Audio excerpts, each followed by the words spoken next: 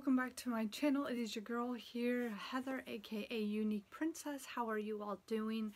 I hope you're all doing great. I am doing wonderful. I feel fine emotionally, mentally, physically.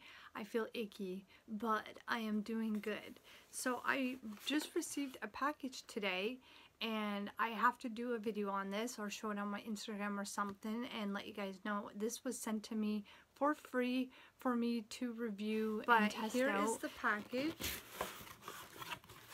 so this is what it looks like I was sent um this new Pantene Pro V blends it is salt sulfate free uh, hydration with rose extract. So it is, it says, treat yourself to roses every day. Dryness is more than a moisturizer, moisture problem. It's a nutrient problem.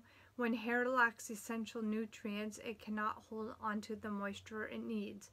Sulfate free alone is not enough to give hopelessly dry hair a moisture fix. fix. Pantene found a solution in rose water. It is skin's go-to for calming hydration.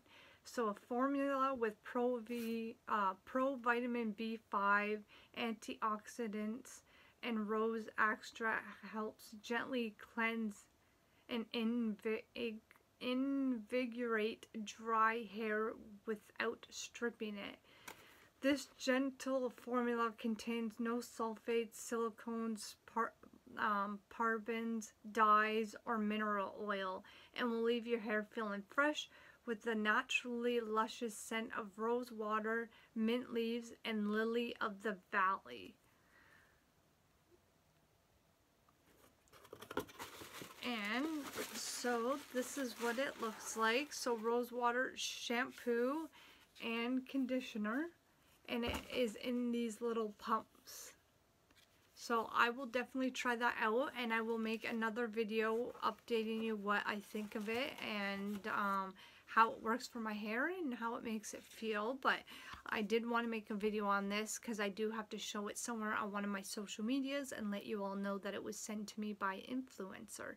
So I hope you guys enjoyed this little short video of just showing you guys what I got and I will test this out for a while and then do an update video on these uh, shampoo and conditioner.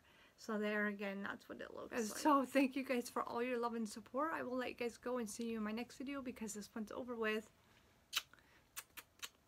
Bye lovelies.